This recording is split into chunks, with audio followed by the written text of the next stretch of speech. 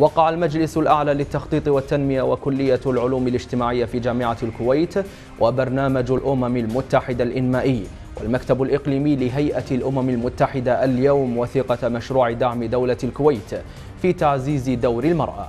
ويساهم هذا المشروع في تحقيق مجموعة من أهداف خطة التنمية الوطنية لدولة الكويت 2015-2020 لمساعدة الكويت في القضاء على كافة صور التمييز ضد المرأة وتمكين أجندتها ضمن أهداف التنمية المستدامة في الكويت. أحد أهداف التنمية المستدامة هو ال SDG 5 اللي نحن الآن في صدد تعزيزه أنه أن يكون للمرأة دورا أكثر في الممارسة السياسية. سواء على مستوى الديمقراطي البرلمان أو على مستوى الحكومة أو على مستوى القيادات الدولة الأمر الثاني وهو اللي تهمنا في الوثيقة أيضا أن يكون هناك gender positive policy وهي سياسات تعزز موضوع المساواة ما بين الجنسين. هذا أمر مهم جدا. أن يكون لدينا تصور عام وخطة عمل واضحة للحد من العنف ضد المرأة.